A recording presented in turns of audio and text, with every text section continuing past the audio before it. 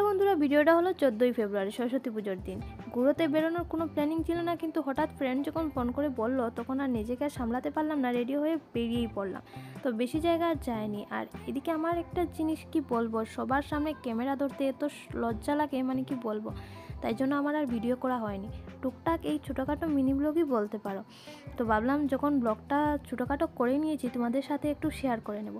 আর এই লজ্জাটা যে আমার কখন ভাঙবে আমি নিজেও জানি না। আর এইদিকে মাকে প্রণাম করে একটু কলেজটা ঘুরে নিলাম।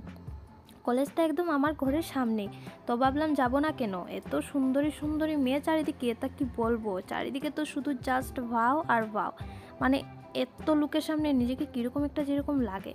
তো কী করব? ছোটোখাটো একটু একটু ভিডিও করে নিয়েছি। আর এদিকে ও আর আমি তারপর কলেজ থেকে বেরিয়ে সামনে আমাদের কল্লিতে একটা পুজো ছিল। তো ভাবলাম সেখানে গিয়ে ঘুরে আসে। ও বাবা, সেখানে গিয়ে দেখি বাচ্চাদের তো আর শেষ নেই।